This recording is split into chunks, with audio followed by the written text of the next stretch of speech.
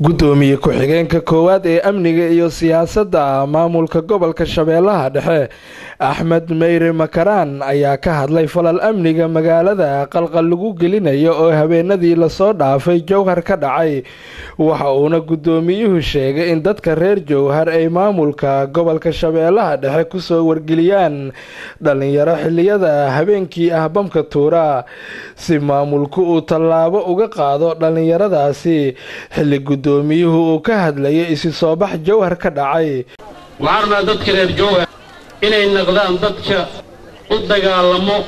Adduunyada waa dhimaysaa. Kullu nafsin daa'iqatulmowda layidhi naf kasta way dhimaysaa. Inaad cunug dhuumaaya aad ka baqdiin.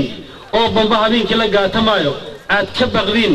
Waa karaamo xumo waa dadnimo xumo waana nolol xumo wax nololana ma ahin xayaatana ma ahin. Inuu cilmo xumoo yaryar oo caasi waalideenna oo hooyadood iyo aabbahood ku caasiye ay idin gumaystaan. Idinkanaad raalli uga naqatiin.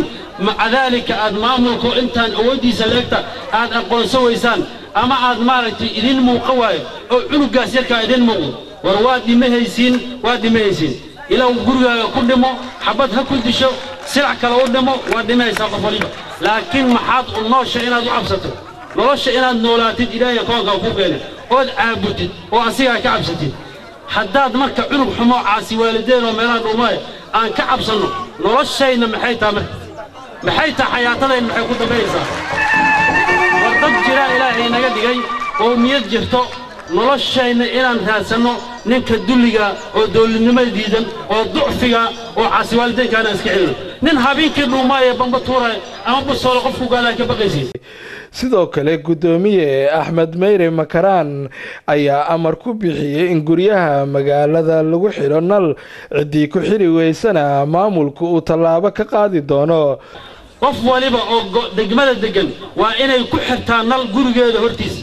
Qofka aanan ku xidhinna maamulkaa la xisaabtamaayo laakiin nolosha bini'aadanka inaad inay qarribaan laba cunugoo dhuumayso oo ku dhex jiro beledka dhan ku dhex jiro inay qarribaan idinkanaad u hoggaansanaatiin wax la qaadan kara maahin wax la yeelayana maahin waa ismaqleena inta bannaanka jirto guryaha ku soo yertan hana maqasho. Inta inta joogtaan hana maqasho. Kama baqayno waana soo qabahaynaa waajibkiisaana marsiyaynaa laakiin waxaa laydinka rabaa idinku inaad u noolaatiin si sharaf leh oo xayaato leh oo dadnimo leh dowladnimada waxay u taagan tahay inaad si sharafa dadku u noolaadaan oo aysan dadka si dullinimaa ku noolaan.